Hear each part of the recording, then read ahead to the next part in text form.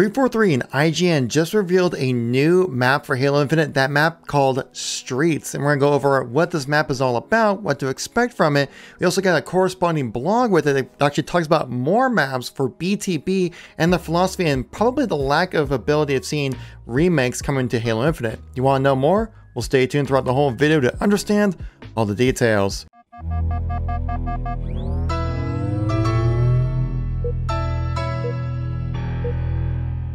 Everybody, welcome to the channel. The channel keeps you up to date with everything going on with Halo. And as soon as I finished up my last week in Halo video, got it all uploaded for you guys.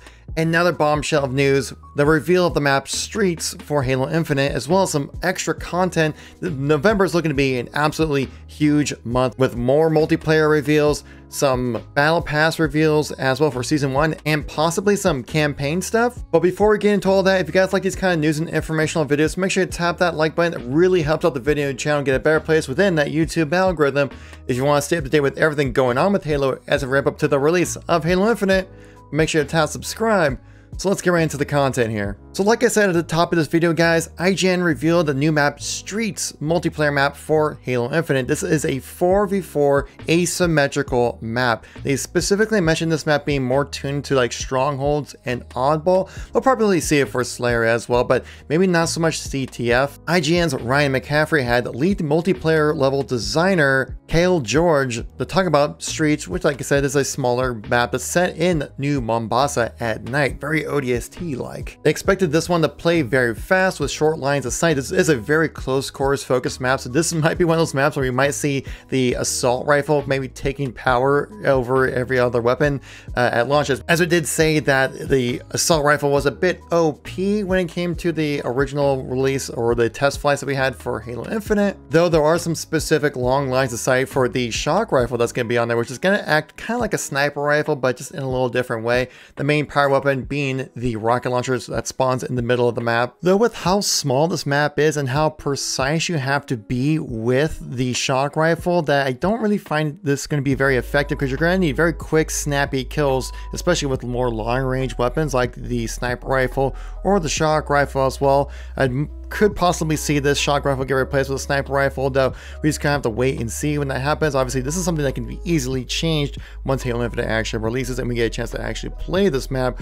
But this looks very close quarters and makes me wonder, like, maybe with all the ricochet walls that we could see the heat wave be a little bit more effective than we saw previously because the heat wave was kind of underwhelming for the most part when it came to the gameplay, but I think with all these ricochetable walls that we have, how close quarters everything is, that like the shotgun, wave, and also various other weapons that might have undershined within Halo Infinite's flight could do a lot better on this map. When watching this, it gave me a strong vibe of Cyberside, which is a doubles map that was available for Halo 5, and I think they kind of brought this over a little bit, maybe obviously scaled it out a little bit more for 4v4, as you can kind of see this little comparison I put together on Twitter, but actually a fun thing is, community member Ascend Hyperion and also former Forger that worked at Halo 5, now part of Splitgate team Blaze Lightcap, actually worked on this map for the Cyberside version of this map, and guys, like, it's pretty cool to see like this kind of like influence from Halo 5 come over to Halo Infinite interesting little bit here. If you look in the bottom when he picks up these spike grenades, you see the caption underneath saying Master Chief spike grenades acquired which to me makes you think that Master Chief could possibly be an AI you can select for your Spartan, which, I mean, come on, if you have Master Chief whispering in your ear saying, spike grenades acquired, I mean, who wouldn't want that? And the corresponding blog that came from IGN, some really insightful stuff that's coming in the future as well. And they mentioned here specifically about remakes for Halo Infinite, saying, we asked about whether or not we should expect any remakes of classic maps as has become Halo tradition. 343 cited back saying that question is something we actively talk quite a bit. I think what we've done with Big Team Battle, fragmentation, is something we want things to feel new, but we want things to be a bit reminiscent without giving you the exact layout or same layout with significant differences because we're a different game with different needs. Talking specifically about like Valhalla and Ragnarok have influences within fragmentation, which you can definitely see that. Continuing continuing on, saying there are some maps that have been coming out in almost every single iteration of Halo. So I wouldn't say we would never do a remake, but again, we're doing a spiritual reboot. So we look at how we kind of put our twist on it, but still make it feel like a bit of a nostalgic trip when you kind of run through them. And this is key right here. We've tried the one-to-one -one ports, they don't work well. So when I hear that, I'm kind of thinking, yeah, it doesn't look like we will be getting any form of a remake anytime soon within Halo Infinite. Honestly, I'm okay with that because, because Halo Infinite is a very different game mechanically to any other previous Halo game. As it does have some of those advanced move movements like sliding, clambering, and things like that, along with along with the whole equipment set that we have with it that's unique to Halo Infinite, that bringing over some of these classic maps would probably the, be broken with the new game mechanics that we currently have within Halo Infinite. So my hopes of a Blood Gulch remake, I think might be kind of out of the question. Though, for example, take Blood Gulch, like I've said earlier, that like it wouldn't really work with Halo Infinite's mechanics as Halo Infinite's precision weapons are hit scan, meaning you do not need to lead your shots, which makes it very difficult to walk around in wide open spaces much like Blood Gulch. Blood Gulch and Valhalla as well rely on you having to lead your shots and that kind of user error to give people the ability to move around the map freely without having to feel like you're getting sniped across by people using battle rifles like we had with the Bloodline remake in Halo 2 Anniversary.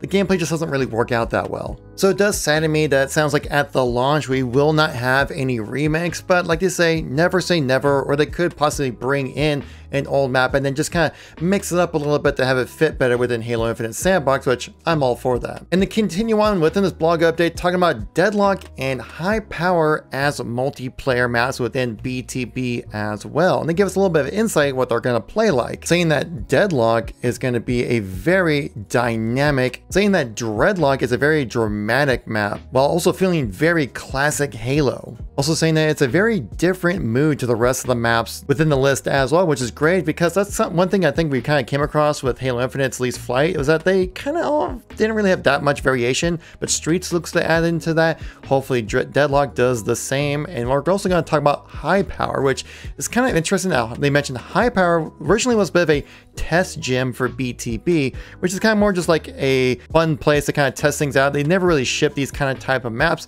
but apparently they just had so much fun playing on high power that they're going to be adding it into the game as well. And to finish out this blog post, they do talk about the preview into Season 1's Battle Pass, which will have 100 tiers, in a podcast discussion with Joseph Staten. Now, obviously, you can just go to their website and check out all the information as soon as it drops, but you definitely want to come over to here because we're going to do some deeper analysis on some of these things, because especially with the map streets, they definitely missed out a lot of interesting details and jumps and things like that that we can talk about. Obviously, we're tried and true Halo channel guys, we definitely would go more into what is more important to the Halo side of things than like IGN ever could. And it looks like later this month, we're going to get some more campaign gameplay through IGN as well, which guys, November is going to be huge. It's it's happening. Like November is going to go insane for us guys. This is crazy. So if you're new to the channel or missed any content from me recently, check out this playlist. We're here for all my Halo Infinite news and informational videos we've been uploading daily about. Thank you so much for watching. Greatly appreciate it.